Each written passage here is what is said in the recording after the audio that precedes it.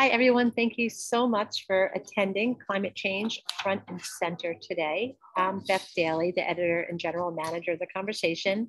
I'm so thrilled you'll be joining us for an amazing panel. Um, before I start introducing everyone, um, some of you might be new to the conversation, so I want to let you know a little bit about us. We're a global online media organization. Um, our content is written by academics and edited by our fabulous team of subject-specific editors. All our content that we produce in a collaboration goes out on the Associated Press Wire, to Yahoo News, MSN, and to over 700 news outlets every single day. Uh, we're read about 23 million times a month now, um, and everything from the Washington Post to CNN to tiny papers that no longer have expert journalistic staff on staff anymore, like the Idaho Statesman to the Kitsap Sun um, we're a source of credible information. Um, so before we start, I wanted to just take a, one minute to remind you that this webinar is being recorded. It will be available afterwards. We do ask you to type your questions into the Q&A. Please don't raise your hand. The chat is disabled just to keep the conversation flowing. Um, so let's get started. I'd first like to introduce Becky Bolinger, is Assistant State Climatologist at Colorado State I'm sorry, Colorado Climate Center, Colorado State University's Department of Atmospheric Science. I always kind of say that the wrong way. Her research focuses on climate variability, climate extremes, and drought. Uh, she's written for The Conversation on the new normal seen in temperature data. Twila Moon is a deputy lead scientist at the National Snow and Ice um, Data Center, part of the University of Colorado Boulder's Cooperative Institute for Research in the Environmental Sciences. She specializes in the connections among ice, climate, ocean, and ecosystem, and in particular, the Greenland ice sheet and the Arctic, although she knows an awful lot about Antarctica as well. Her research has been published in high impact journals um, such as Science and Nature, and she has been testified, she has testified before the US Congress and is a lead author for the annual NOAA Arctic Report Card which I have read and reported on in my past life as a climate reporter at the Boston Globe. Um, Shannon Van Zandt is a professor and executive associate dean in the College of Architecture at Texas A&M University. Her scholarship is at the intersection of affordable housing with disaster impacts, resilience, and recovery, with particular interest in how residential land use partners exacerbates or mitigate exposure to natural hazards, specifically flooding. She's an author of the 2002 book, um, engaged research for community resilience to climate change. I'm so grateful to have such a fabulous team of female scientists here and researchers to talk about this incredibly important subject that's facing us all. And at this juncture, I'm going to turn this over to uh, Jenny um, Weeks, our senior environment editor. And Jenny, if you wouldn't mind, just give a few a quick bio of yourself instead of me doing it, and then we'll let we'll start. Uh, sure. Thank you, Beth. So I'm Jenny Weeks. I have been at the conversation for six years. I work with our other environment energy editor, Stacy Morford, who is here uh, lurking behind the scenes. And um, together we uh, look for scholars who are doing interesting work on climate, reach out to them for articles that will help people understand what's going on. And we are so excited to have this great panel today to talk with. Um, I have been a freelance journalist and further in the past worked in government and academia. So, you know, many sectors have parts to play in trying to make progress on this issue. And a lot of pieces have to work together. It's very complicated. And it's really great when we can have scholars like this um, help us kind of figure out what's going on. Let me just say a little bit about why we're doing this webinar right now. Um, many of you probably know about the Intergovernmental Panel on Climate Change, which is often referred to as the IPCC. It's an enormous coordinating body of scientists all around the world who are experts on many, many different aspects of climate change. And it puts out giant reports called assessment reports about every three or four years that really sort of roll together what those scientists see as the best analysis of what is going on with the climate. The idea is to inform governments so governments can take action on what's happening. Um, when they release one of these assessment reports, it comes out in several parts. The first part of the current assessment, which I believe is the fifth assessment, came out last fall. It was about the science of climate change. So, what temperatures are being recorded where, what is happening with um, sea level trends, what are greenhouse gas concentrations in the atmosphere doing. Next week, Part two comes out, which is on impacts and adaptation. So it's on the impacts. What are these temperature and greenhouse gas trends doing to Earth's physical systems and how can we adapt to them? So that's sort of the two part topic we have for today for our speakers to talk about. And later this spring, part three, which is on mitigation, which is the climate speak word for reducing greenhouse gases and slowing climate change, comes out. So there will be a whole new chunk of coverage next week and then another wave in another month or so on what experts think is happening and what we can do about it. So, um, you know, it's great to have some experts to help us sort of sift through a lot of this. Um, you've heard the speakers' bios, so let me just start off. Um, I want to ask all three of you a two-part question, so we can just sort of probably go around in the order that Beth introduced you. So since we're doing impacts and adaptation, why don't we start by each of you talking about what are some of the most significant impacts of climate change that you are seeing in the region or sector that you focus on in your research. So Becky? So uh, thank you for having me on. Uh, it's an honor to be here. I am uh, really excited about this report coming out because it really brings in um, the human component, right? When you're talking about science, um, sometimes it's hard to connect it, but this one's really going to connect to what people are currently experiencing. And this isn't something that's out in the future. This is something that's happening now. And we are experiencing impacts right now from a changing climate, uh, particularly when we're talking in the United States. Um, we know that we have already experienced an increased frequency in, in our hottest temperatures, in our hot extremes. Uh, we know that in some areas, particularly uh, where I live in Colorado and in, in the western part of the country, we are experiencing more frequent drought and more severe droughts. And we are experiencing um, increases in wildfire numbers and acreage. And um, th these are the things that bring climate change to a really personal level, and it's not just something abstract. So these are definitely things that um, that are happening now, and uh, those are the things that that will be covered in that next report. Great, thanks. Twila, tell us about the Arctic and how uh, what happens in the Arctic does not stay in the Arctic. Yeah, you hit that nail on the head. Um, so the Arctic is is one of those places where we really clearly see um, many of the components of what we call the cryosphere, which is all of Earth's frozen elements. So we have glaciers, the Greenland ice sheet, we have frozen ground, also called permafrost, and we also have um, ice that forms on the top of the ocean, sea ice. And the Arctic is actually warming more rapidly than the rest of the planet. And because it's so full of these different frozen components, all of those are really sensitive to small changes in temperature. I mean, just a fraction of a degree is, uh, as one of my colleagues say, the difference between ice skating and swimming.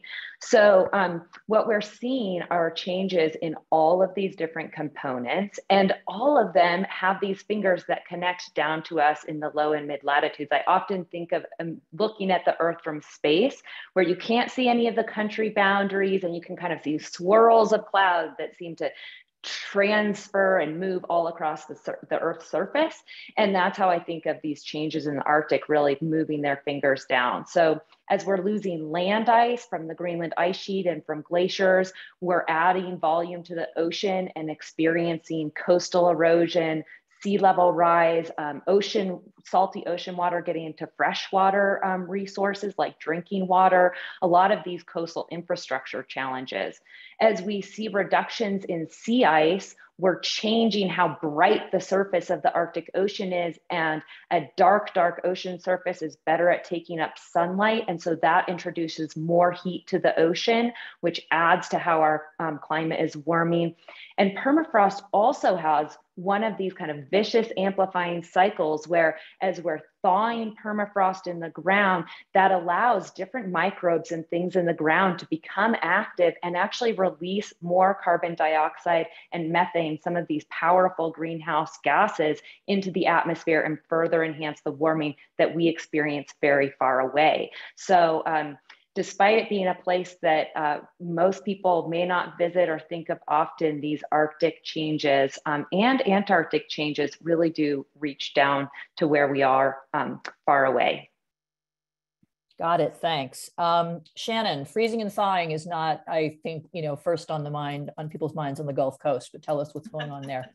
Certainly. Yeah, I think you know, based on what Becky and Twila have said, we're experiencing in our communities, we're experiencing a much greater frequency of sea level rise and urban flooding, you know, from the sea level rise and from our more frequent and more severe weather events. Um, many of you will remember Hurricane Harvey, which struck the Texas Gulf Coast in 2017 as an unprecedented rain event that dropped up to 50 inches of rain on the city of Houston in just oh, about 36 hours. Um, it was uh, nothing we ever anticipated, but I think one thing that we're learning in our communities is that disasters are no longer kind of acute one off events. They are very often ongoing and chronic in many in many ways. When Hurricane Harvey struck Houston, I just to kind of see how things were going, I checked on their disaster declarations and I saw that at the time of, of Hurricane Harvey hitting Houston, Houston had three additional disaster declarations uh, currently in place. Going back to 2008's Hurricane Ike, which was also a very severe event that affected the Texas coast, but also including two other major floods that had happened since that time. And so that was a real kind of eye opener that at least for our more vulnerable areas, uh, being in a state of disaster is is not a rare event. It's to be expected, and frankly, it has to be planned for, and and that is a form of adaptation um, to the future disasters. Got it. Thanks. So, you know, that segues right into what I wanted to ask a little bit about next, which is so adaptation can mean a lot of different things. Um, and let's just go around again. And so talk a little bit about, you know, in the regions you look at and think about and, you know, where you're, where you're teaching and researching, what are some of the, what you would say most urgent things people need to do to adapt to what's changing? And, you know, if there's, if, if there's been enough time that people have really sort of keyed into it, how's it going? So I think uh, the most important thing you need to do is to be aware and you know listening to things like this and and uh, knowing these reports that are coming out is that first step of understanding what your risks are. So um, you, you need to be aware of the climate that you live in. What are your risks? Um, what hazards are, are most likely to occur? And then what is your vulnerability to them? So for example um, where I live, we would be incredibly vulnerable to a hurricane because um, we don't we don't build things with a hurricane in mind. But the risk is very low, so it's not something we plan for. So you kind of need to take into account what your risks are and what your vulnerabilities are, and then you take that information and hopefully can address that vulnerability and reduce that vulnerability so that when the hazard occurs, hopefully you're less likely to have a high impact disaster because you are prepared for it. And a lot of communities are doing this. Uh, a lot of, of state governments are doing this. For example, Colorado, we have a, a state drought response and mitigation plan. And um, we use that regularly when we know that we are going into a severe drought so that hopefully we uh, don't have the high level of impact we would have if we didn't prepare for it at all. And I think that that is one of the most important things to do on a state and local level. Um, Becky, just if I can stick with you for a minute, because yeah. Boulder had that such that dramatic wildfire back yes. right i guess it was right after christmas um, where it was like running right through the suburbs there so why don't you just maybe sort of talk a little about sort of take take that fire and talk about adaptation and like what does it mean in that context you know to, to bring it into a specific example yeah. So for Colorado specifically, our environment is so rapidly changing. We are seeing wildfire behaviors that we didn't see uh, 10 years ago or 20 years ago. And the Marshall Fire is a really good example of that. um, that there are uh, risks and vulnerabilities that we didn't even know uh, were, were possible. And now there are so many front range communities, um, not just around Boulder area, but to the north and to the south, where we line up right on the foothills, where we have that similar risk. And so that is something that now we have that information that that is a risk that can occur. Uh, that is something that um, is already in place to start addressing uh, to reduce uh, the impact. And so hopefully we wouldn't have something to that magnitude. But wildfire in particular, as it changes, um, you know, sometimes it can catch us off guard because we don't exactly know what what the range of possibilities are that can happen.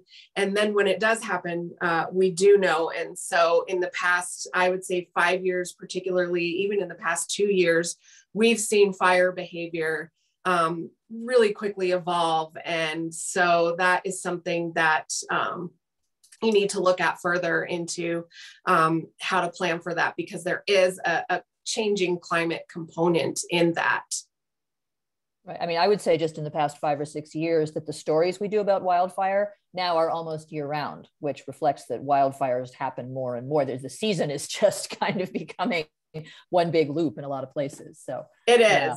Mm-hmm. And what's happened, it's it's almost like for me specifically in Colorado, it's like what's happening in California, I can expect that to be a risk for Colorado in the future. So how does California respond? You know that's something that that we can take and say you know 10 years from now what california is experiencing you know we need to expect that to happen in colorado and and go from there and make those decisions. Mm-hmm. yeah.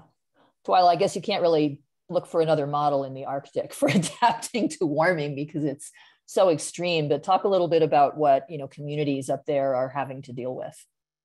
Yeah and i might mention both what communities in the Arctic are dealing with, but also all these Arctic changes that come down to us. So sure. for the, um, you know, many thousands of people who live in the Arctic, um, they are experiencing fundamentally different uh, landscapes and seasons. Um, we some of the problems we were just talking about wildfire. There have been incredibly um, extreme wildfire um, events over recent summers in the arctic. Um, we've detected wildfire carbon all the way up to the top of the greenland ice sheet and to the north pole but all many of the folks in the Arctic are also dealing with the challenges of sea level rise. Um, we see already Alaskan communities that have needed to entirely move because of coastal erosion. And when we see um, thawing of permafrost or frozen ground, that can cause roads to buckle, um, pipelines uh, no longer stay stable, uh, buildings can collapse. So there's a lot of big changes uh, for infrastructure, there's also these changes that are influencing, for example, food security and food access in the Arctic. Um, as you see seasons changing and animals are responding to that, or perhaps animals are moving in different places at different times. And the loss of sea ice also is really changing where a lot of marine animals exist, what they're able to do in their life cycles. And removing sea ice from the Arctic coasts also make them more vulnerable to sea level rise and a lot of waves from storm, which can make Arctic coasts erode more quickly. But these changes that are um, happening in, in the Arctic are really reaching down to areas far away and sea level rise is just such a good example of this. And we sometimes forget all of the different implications of sea level rise. So it's not just maybe that things are go you know the ocean is rising but it's really going to influence big storm events so that you're going to get um, kind of instances of flooding in places that have never experienced flooding. Um, what I was mentioning earlier, as far as ocean water being able to be present in places it wasn't before and interrupting fresh water, we can really cause problems with sewage and water systems in our coast. And I found it very interesting um, to reflect on how we have really modern day built our infrastructure assuming very stable coastlines and boundaries. And that sometimes makes it difficult for us to start to contemplate how to adapt to things. So, for example, with sea level rise, people begin to think about what retreat might look like. But if you're a local um, politician and you're planning for, for, for example, for your local county, people moving out of your county might cause problems with your tax base and economic issues. There's many interrelated problems, and we may have to, in our adaptation, not just think of our buildings and our roads, but also think about our policies and um, how we actually kind of keep our economies going in different ways and, and come together to help our neighbors. This is when when you look at the the kind of scenarios of the future and the scenarios that get us to a future that sees the the kind of least harm all of those scenarios really depend on cooperation. And I think it's valuable to think of that as cooperation, not just at international government to government levels, but also the cooperation that we have locally and regionally, because being able to depend on each other and cooperate together for sharing resources or building more resilient infrastructure, those are all really, really key. Absolutely. Yeah. And Shannon, that I think segues right into your focus on resilience, right? Yeah, it really does. I'm listening to Becky and Twila speak. Uh, you probably saw me nodding a lot, and I also was scribbling down a lot of notes because the things that they're bringing up are exactly the kinds of things that we want and need communities to do. I'm a I'm trained as a city planner, so um, I'm very interested in predicting the future. That's what planners do: is to look into the future and try to figure out how change can change. You know, it, uh, is the trajectory that we're on the trajectory that we want to be on? And I think it's critical now, especially as the climate is changing so quickly, that we do look forward to say, well, what is going to happen in five years or 10 years or 30 years? And recognizing that things are happening so much faster now than they used to. Um, one of the things with mitigation and adaptation is just the language that we use to talk about it. The climate scientists use the term adaptation to talk about a lot of the things that planners would characterize as mitigation.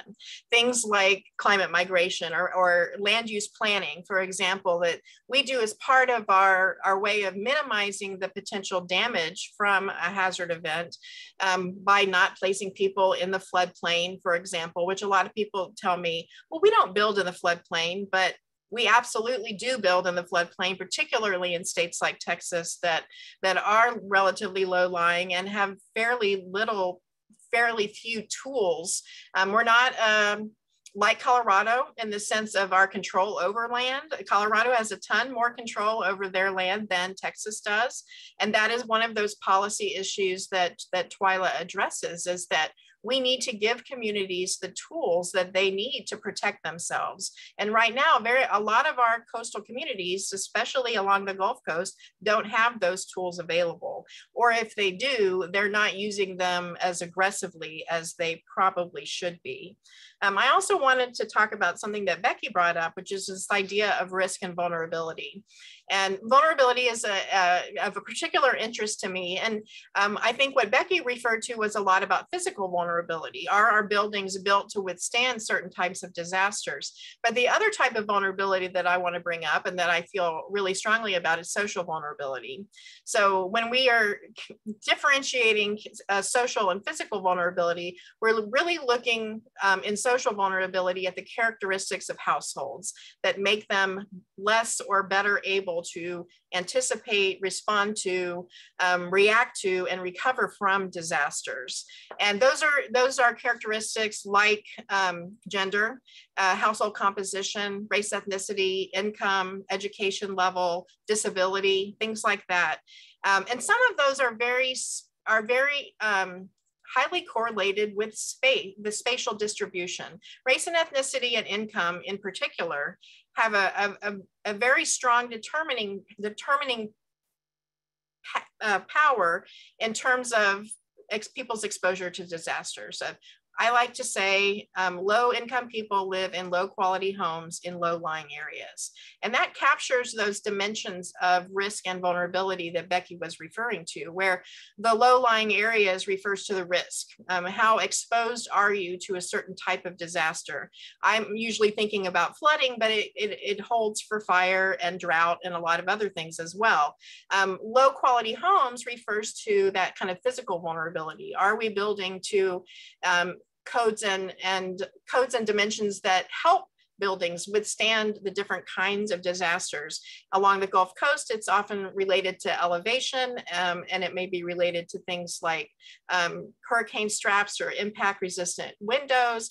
But in other parts of the country, it may be related, you know, to earthquake engineering types of issues or fire, you know, um, combustible materials as how much of the exterior of your home um, can be made out of combustible material versus non-combustible. Um, so that refers to the kind of physical vulnerability. And then the social, of course, are these household characteristics that are not spatially independent. Um, they, we put people in harm's way. And I think particularly as we see rapid growth along the coast, I mean, Texas is a very rapidly growing state and a lot of that growth is along the Gulf Coast, despite the fact that it is at great risk of um, both hurricanes and urban flooding. and so as we grow into those areas, we really need to be, we're, we're doing two things. Number one, we're placing more people in harm's way. Number two, we're reducing the ability of the environment to actually provide environmental services. So when Twila mentions Arctic communities that are having to relocate, we're also seeing entire communities along the the Louisiana Gulf Coast having to relocate because of the erosion of the Mississippi Delta and sea level rise accompanying that. We're also seeing changes in the agricultural crops that we can grow in certain places because of saltwater incursion. Um, and the, a lot of those lands actually absorb the water as it falls. Um, Houston is a really good example of this. Um, a lot of the development in Houston is, is west of Houston towards San Antonio, which when I was was a, a girl growing up in this part of the country was rice fields. Um, and it was, uh, you know, filled with water. It was, it was like a sponge. And now those areas are new suburban developments that are paved over with impervious surfaces. And so not only are they increasing the runoff, but they're decreasing the ability of the land to do its job. And combined with our, our land economy, you know, how, how the land um, how people are able to settle on the land, we're placing those most socially vulnerable in those places that are most physically vulnerable and high risk um, for those families. And so I think um, assessing the social vulnerability along with the physical vulnerability, like Becky mentioned, is really important. Knowing who is in your community and what kinds of assistance they're going to need.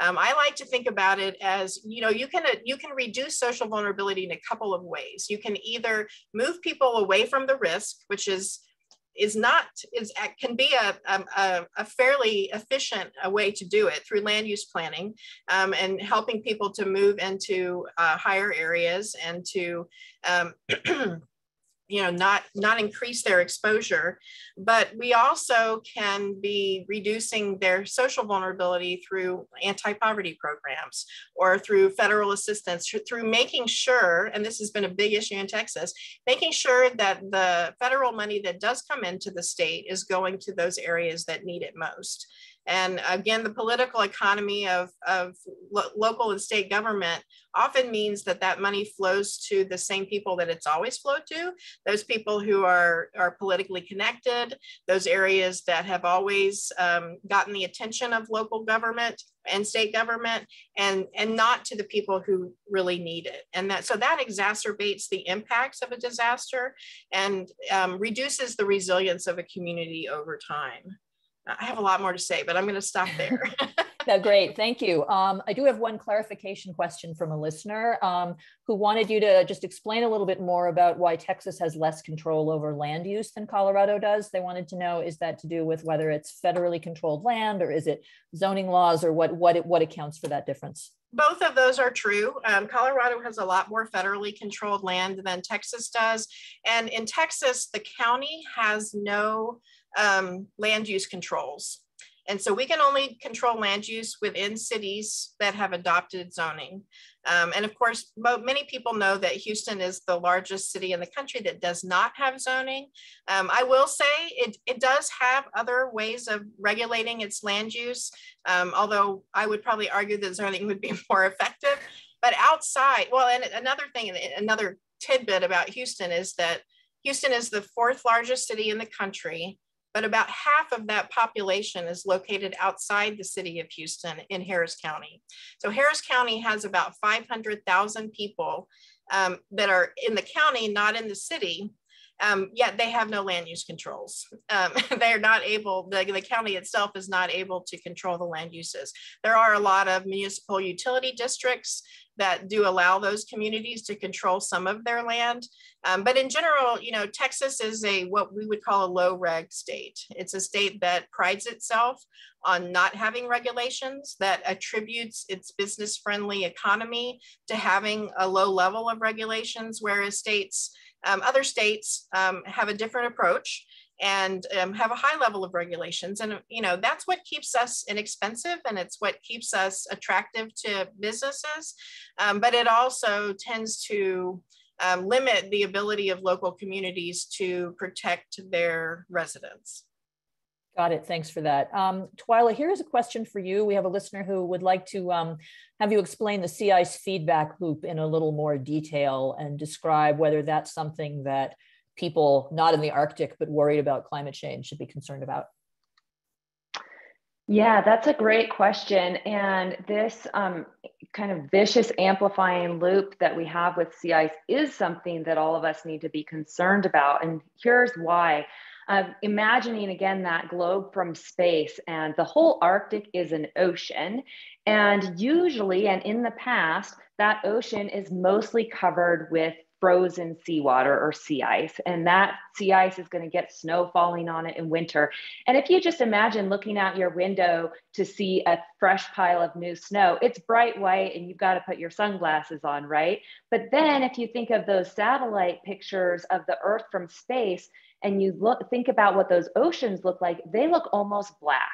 And that difference between this really bright sea ice surface and the dark ocean surface is just the same difference as wearing a white t-shirt or a black t-shirt outside during the day.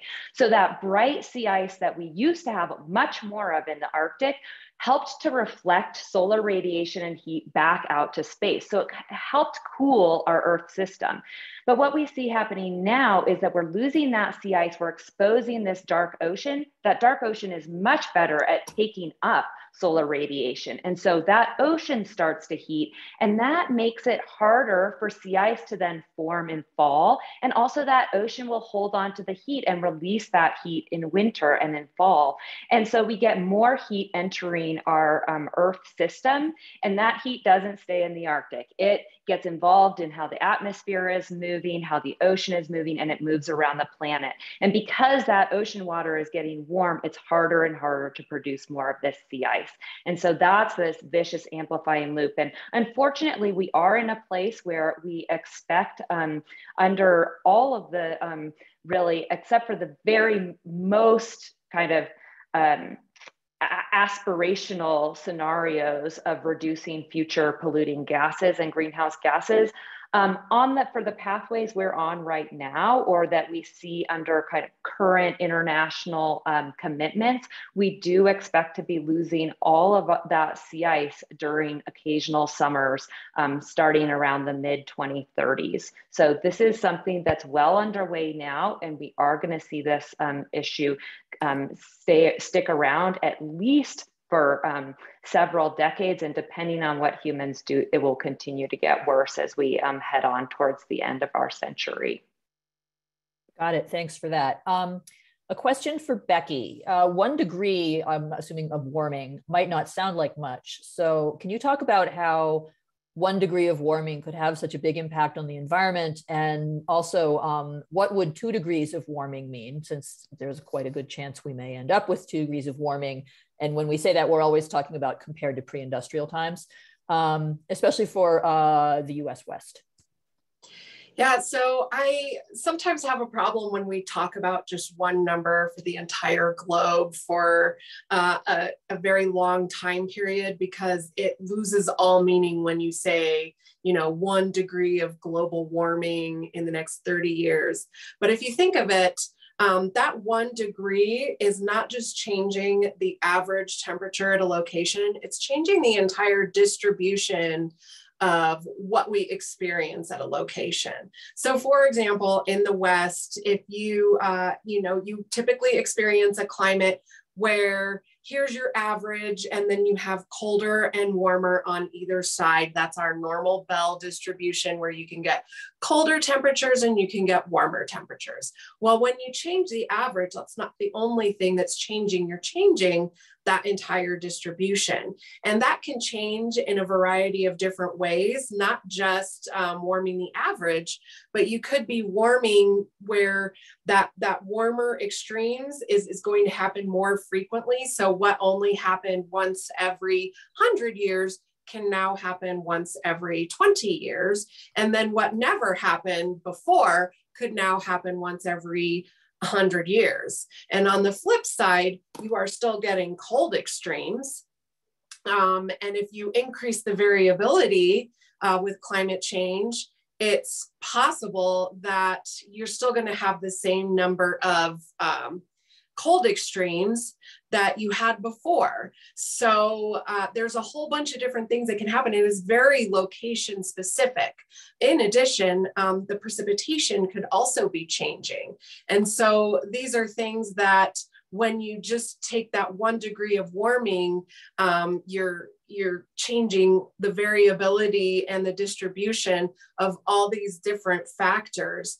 And so one of the things, uh, particularly in, in the West that we've seen is that one degree warming is um, shifting our entire distribution of temperatures. And so even if you don't change the precipitation, we are now seeing that droughts are becoming more temperature driven droughts. And that is because even though the air is warmer and can hold more water vapor, it's not. And so that air is becoming drier. So think of you, you have uh, a tube of water and this is the temperature, this is how much water it can hold. Um, if you warm the temperature, it means it can hold more water. But if it's not, now there's less, the ratio of water is less than what it could have been that air is drier and that is uh, exacerbating our drought conditions. So even that tiny bit of warming and not changing precipitation at all, now you have a more serious uh, drought situation. And that's just one example of how a little bit of warming can make a big difference in terms of uh, extremes and, and what can happen. And do you want to say anything about two degrees? other than um, you know, as one degree? yeah, it's going to be the same thing. Basically, what I see is that how different things are now from where they were 20 years ago. Um, you know, 20 years ago, our droughts uh, were not necessarily as temperature driven as they are now. And uh, I would say that it, it's just going to be a little bit different than what we're experiencing now. So that is how uh, you know I would see the difference in adding another degree of warming, basically on on the warming that we've already experienced and the changes we've already experienced. That what is normal for us now is um, is going to change again, and so basically the droughts that we experience now are going to be not as severe when we look back on them 30 years from now, 20 years from now. And that's right. how I see that one degree versus two degree change. Got happen. it. Okay, thanks. Um, we have a listener who would like to know from Shannon. Um, they say, I'm in a conservative rural town, just getting going on serious, I hope, attempts to reduce emissions. We are getting trees planted. Any thoughts as to next steps for elected officials and staff? And I think, um, you know, there, you know, I, even even granting what you said about, you know, a lot of counties in Texas not having zoning yeah. powers and stuff. What kind of things at the local level can communities do? Yeah, I think that's a great start. I would I would recommend engaging the community leaders in developing a, a plan, a climate change plan. It may be part of their comprehensive plan if they have one. And if they don't have a comprehensive plan, they ought to consider that that that possibility. It's a way of assessing what the future will hold and also developing um, consensus around actions that the community can take. So tree planting would be one of the actions that might come out of such a plan, but going through the planning process will identify a lot of other actions that the community can take, both to mitigate um, and as well as adapt because i think we're at a point now where we're not going to mitigate all the effects. We're experiencing the effects now so it's no longer an option to to halt climate change. We have to limit it and adapt to it and, and so that adaptation can be explored through a comprehensive plan, particularly, you know, developing a good fact basis for that plan is really important. Um, and that would involve assessing your risk and your vulnerability, like Becky described, and I kind of uh, elaborated on a little bit. You've got to know who, who's in your community. You got to know how they're going to grow and the, how they expect to grow in the future or decline in the future, as a lot of rural towns are experiencing population loss. Um, but also what its what its um, land use can handle in terms of activities and where development should occur or should not occur um, in, if, if development is occurring. And, and if it's not, then the attraction of economic development to the community. Um, if it's at a high, if it's in a very high risk area, then looking at how the community can move over time. Um, and that may be moving within the area, or in some cases, it may be moving away from the area, um, as we've seen with some of the Arctic communities and with some of the Gulf Coast communities. Um, certainly, we hope that doesn't happen. Um, and we do want to be aware of the, the social and cultural issues related to the, the community's history and the community's present population, um, but talk to the community about it. Um, make it an issue in community elections and anything that, any opportunity that you have to to have people think about it and talk about it and understand what the, the consequences may be for, for your community, um, the more you're going to be able to get them involved in a planning process that can help you address those um, changes going forward. Great, thanks. Um, question for Twila. Can you please share your most unexpected Arctic experience? I'm guessing there's quite a list. uh, yes, I would have to say I um, I love when I have the opportunity to visit and travel there. And um, one of the things that come to mind, I'm, I'm tempted to tell a story of, of um, meeting with local hunters there, but I actually want to point out something that was very early in my career um, when I was in graduate school. And we were just starting to get good um, and repeat satellite imagery and satellite data from the ice sheet. And uh, we were interested in these lakes that form on the um, uh, outer margins of the Greenland ice sheet during summer. Um, and we went there, we set up our, our camp uh, next to this lake that was, you know, more than a mile wide, more than 40 feet deep. We got in our little blow up boat and we'd boat around on this lake. We were hoping it would drain while we were there so we could watch it drain and see where all that water went, if it went over the surface of the ice sheet or under the bottom. Well, it didn't drain while we were there. We were really disappointed. We couldn't see satellite images very often and we had to wait for the next summer to go back. And we got back and we checked the instruments, and it turned out this entire lake had drained in less than an hour and a half. Out, so flows out of this lake down into and underneath the ice sheet at more than the discharge of Niagara Falls. So it was one of these instances where this thing was happening so much more rapidly and dramatically than we expected. And I think it's a little bit of a good metaphor for um, how science has been learning about changes in polar places because it was before we had satellite data which is true even in really the mid 90s there it was very hard to look at you know antarctica is a whole continent greenland ice sheet covers the world's largest island and so we weren't taking we weren't considering that these ice sheets could change very rapidly and that they needed to be part of this kind of you know couple decades conversation about climate change. But then as we started to get the data from satellites, we realized that actually these environments were changing very rapidly. And so that's why I know for myself, many other people who are my age or earlier, I didn't really have climate change classes in my K through 12 education. You know, this didn't this was a non-issue. I wasn't hearing about it. And I think that's common um, for people to kind of say, wait, why do I need to pay attention? This is like this brand new thing. And I think it's um, one of those things where we continue to realize how many changes are happening and changes are in many cases happening more rapidly than we expected them to and in places and with the complexity that we didn't expect and so in that way it is something where we sort of all need to catch up and get on board with both the adaptation part because there are things that we've already done to the earth system it's baked in sea level rise is coming. It's here and it's going to continue.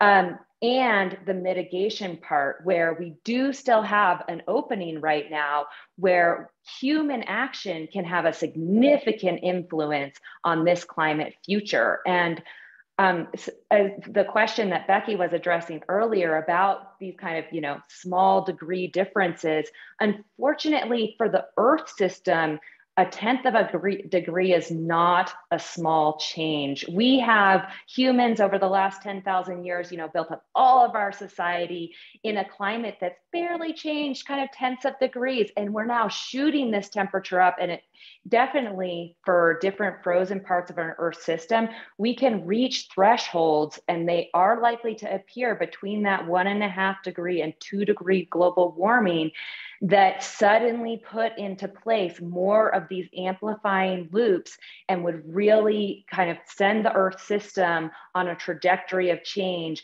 that human action would no longer be able to influence and dampen. So that's really a large part of my concern is that we take action while our human actions are still really going to have a big and important impact on the future. Thank you. That was great. And I want to just circle back to what you said about, you know, getting satellite data while you were in grad school and not having had that before. And because i know that these all these issues can be really overwhelming especially when the impacts are getting so in, intense and so visible. But um, i want to just remind people listening that you know before world war ii we didn't have satellites we didn't have high speed computing we didn't have radar and those are the three technological developments that made modern weather forecasting possible. So you know before then i mean we had like balloons that went up and stuff, but it was very crude and you know compared to what we have now. And I mean, if you think back to things like the Laura Ingalls Wilder books, their way of trying to know if a blizzard was coming was to go look out the northwest window. So you know, I think that one sort of hopeful part of this whole discussion is the way that scientific understanding and you know the tools we have and the capacity we have to use them and to think about what's happening are advancing really fast um, fast enough? I don't know but but there are a lot of really smart people out there you know thinking about these things in many many complicated ways that, that i think find that really heartening. Um, becky we have a question from um, a listener who is worried about water in the west and wants to know why the colorado colorado river seems to have less and less water and if there is any way to stop the loss. Yeah, the Colorado River is um, such a complicated beast of an issue that uh, people are still grappling with. And it is definitely something that um, is going to have to uh, come up with some uh, new solutions over, over what we've done. So we know that the West is, is drier and since the 1920s, there was a compact for the Colorado River and how that water was going to be divvied up between um, the states that um, have some little piece of that water. And it was going to be this even distribution of water between the upper basin states like Colorado, Wyoming, and Utah versus the lower basin states like California, Nevada, and Arizona. Um, the problem was, was those decisions were made um, over a climate that doesn't exist anymore. And so we try to continue to operate the Colorado River based on a climate that is no longer in existence. And that is making the situation worse, uh, particularly because um, the delivery of water to the lower basin states is expected to be what it always was when the upper basin is where that water starts. So our water starts as this mountain snowpack and we do still have mountain snowpack, But uh, because of climate change, we have uh, increased frequency and severity of droughts that is impacting how much snowpack there is and how much that sends down the river. And we also know with those uh, warmer temperatures, we're seeing an increase in uh, evaporative losses from the whole system. And so what that means is, is that the amount of water that, that starts this whole system is not as much as it was. Um, and so the way that we need to plan around that is we need to stop thinking of the pie as being this large and that this side gets this amount and this side gets this amount. You know, we don't have the pie that large anymore, and we can uh, live with what we have but we need uh, we need the people who who make the decisions on the Colorado River to realize that the pie is now this big, and the decisions that we make are based on a pie that is this big. And I, have said it before that um, Lake Powell and Lake Mead are, are the largest reservoirs um, for the Colorado River. That, um, you know, the Lake Powell is for those upper basin states, are basically our savings account. And Lake Mead is that water for the lower basin states. And where they are now, they uh, reached, you know, their, their highest levels in the 90s. And since 2000, um, 2002 drought, they've lowered and each drought takes them down much further and wet period gives a little bit of recovery, but not a full recovery. So it's almost that we're doing one step forward, two steps back, one step forward, two steps back. And at this point, um, any plan that we have, we are not going to be able to get those reservoirs back to where they were. And any any idea that we can, I think, is going to, you know, basically set us up for failure.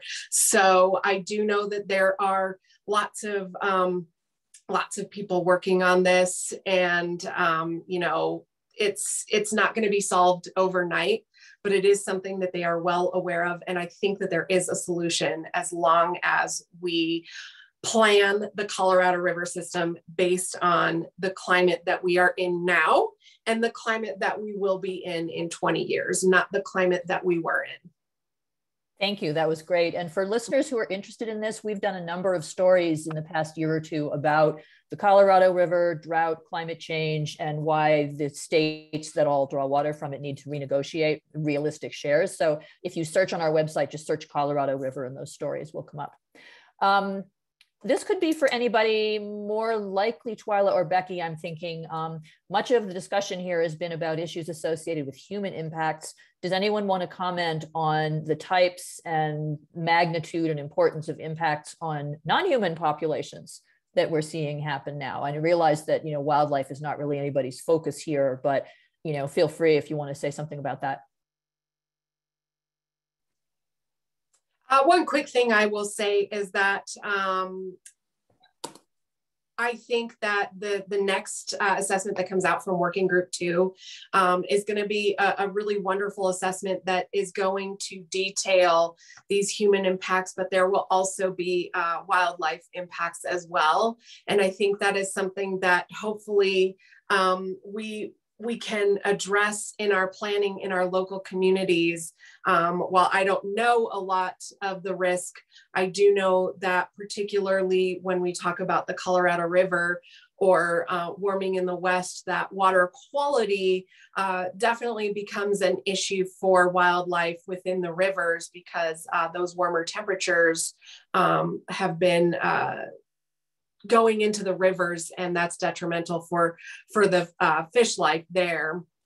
Um, and drought has obviously had a, a significant impact on the avail availability of food and water not just for wildlife but for livestock. And so that is something uh, that uh, I think um, there's uh, particularly for livestock, there's there's management planning, best management practices for uh, mitigating the impacts of that during drought. Um, that that there's a lot of conversations going on there, but uh, I would definitely look to how this working to our working group two report will go into specific sectors and it won't just be on the human impacts. They will also talk about ecosystem impacts to our forests and our vegetation. And they'll also go into some of those animal uh, wildlife components and, um, and uh, hopefully they'll have um, some solutions that they talk about there as well. Got it. Um, Twila, any comments on non-human impacts in the Arctic? Um, yes, uh, widespread. Um, I would point people as they wait for this next working group to report, they might look back to um, the working group two report from the previous IPCC assessment. And that has some really nice figures that talk about increased risk um, for different ecosystem and different animal types because of course it makes a big difference if you are an animal that is able to more easily move around. Perhaps you live in a place that has some higher elevations that you might move to to preserve a temperature range that you as an animal work well in or you might be um, better at migrating and be able to move to higher latitudes. Um, vegetation, similarly, is some vegetation is better at taking hold in new places, other vegetation not as much. Um, and all of these, we, we can't really pull apart, you know, humans and plants and animals, we're, we're all connected. And so those things also play into, you know, what we depend on as far as food agriculture wise or farming wise um, animals on the, the ranching side of things, um, what people are able to, to grow and depend on in different places. And there's no question that there's impacts across this system. Um, some of them um, we're seeing very severely already. For example, coral reef ecosystems, um, which have really high risks already um, versus some which may be a little less vulnerable. So um, this is again an area where um, specific location, um, region uh, is really important to um, what is happening to individual species and, is, and also the other species they depend on what's happening to their food sources, what's happening um, in the different predator prey uh, populations.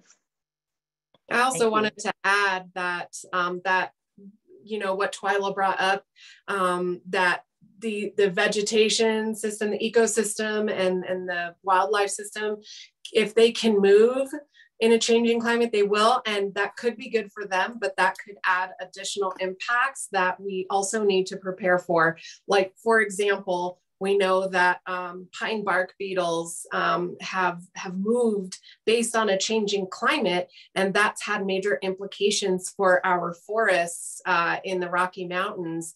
And, um, you know, that changes the ecosystem there and makes it more vulnerable to things like wildfire. So um, these animals that are adapting uh, to the changing climate are also changing the climate where they go. And it's going to be the same thing with uh, vegetation. You know, you've got invasive species of animals and, and vegetation that um, if, if they can move, they will. That's going to have even new implications for where they move to, not just where they left. Right, exactly. Yeah.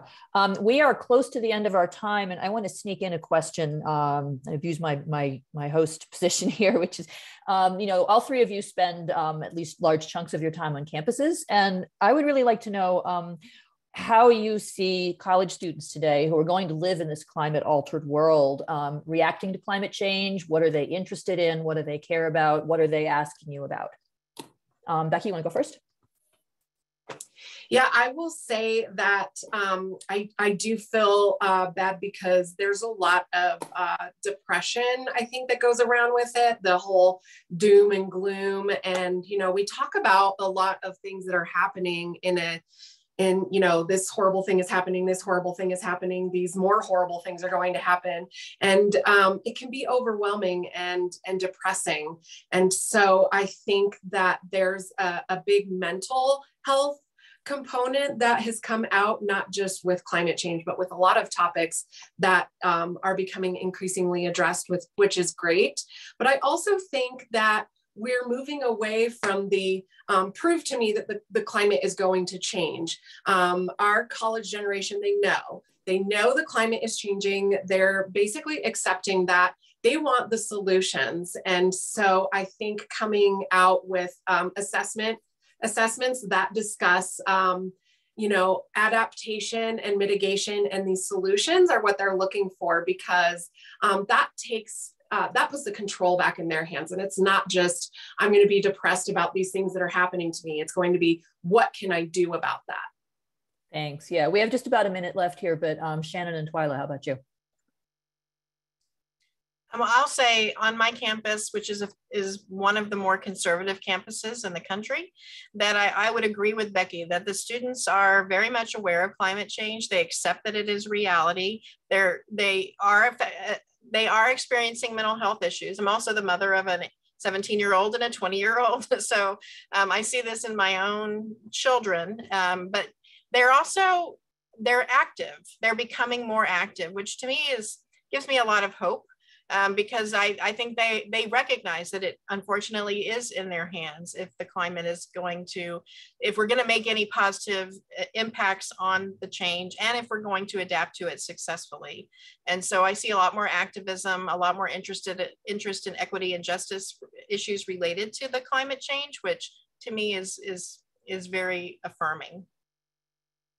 No activism in boulder is there twila um, I really no. agree. I think that there's just a, a great awareness um, with young people today and a real desire for action to happen. And actually, also, I think a real push for the people in power now to take action uh, because that really we cannot wait until today's 20 somethings are the people leading our governments and our businesses. So I think they're putting pressure on and all the ways that they can think. And I think that this is really helping them to stay resilient because I know I often say, you know, the way to not get stuck in the climate blues is to take action, is to talk with other people about it, is to find ways to connect with your community, um, your school, other people in um, finding ways to become re- resilient, make yourselves and your community more resilient, um, and and work both on the adaptation and mitigation side. And I think young people are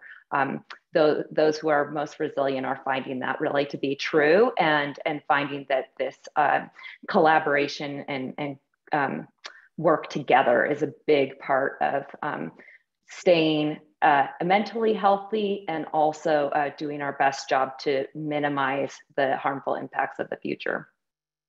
Super. Thank you all for that. Yeah, and I just want to jump in. Um, Beth Daley, the editor general manager, the conversation again. What a fabulous hour. I mean, I wish we had another hour. And I apologize that we could not get to all the audience questions, but we will look at them and perhaps there's stories in there that we could we could do.